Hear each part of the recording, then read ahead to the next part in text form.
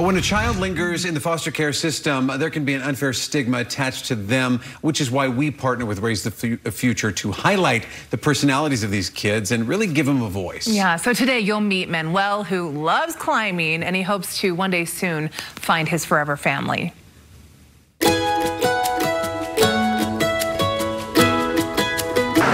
you go, good reach. With a quick hand here and a sturdy foot there, 10 year old Manuel wastes no time scaling the walls at Momentum Indoor Rock Climbing in Sandy. You're doing amazing. Basically, anything that can be climbed, he will climb it.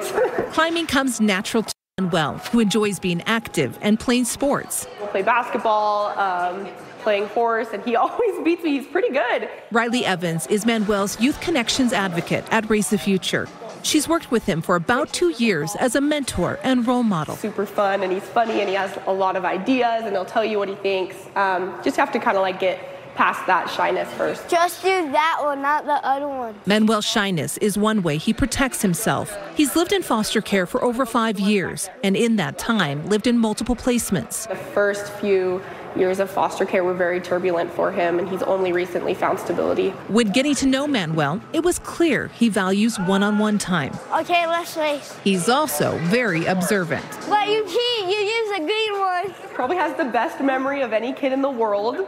If I tell him something, he'll always remember it. Uh, Don't touch it. Yeah. Manuel wants to remember yeah. what it feels like to have a loving and supportive family. He's learned what a family is, what it should look like. And he wants to trust that it will last. He's a kid who's going to need a long transition into a home because I don't think he'll trust immediately that it's going to be forever until he's that's proven. Well, Manuel likes math and is doing well in school. He also loves candy and ice cream, of a course. lot of candy. He also has a hidden courage. When we were climbing, and he was climbing circles around me, he began to climb higher and higher. He just had to do it at his own pace. So it wasn't like we could say, hey, run up there, you know. Right. He just had to do it at his own pace. And I loved seeing that strength and that calmness in him. So what a great kid. So if yeah. you'd like to get to know him, connect with Manuel, reach out to our friends over at Raise the Future. You'll find their information on our website at KS KSLTV.com.